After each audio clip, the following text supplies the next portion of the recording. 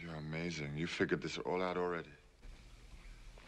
I must have missed 60 minutes. What are you saying? Blow the roof. A car's up there! Blow the roof! Yippee-ki-yay, motherfucker.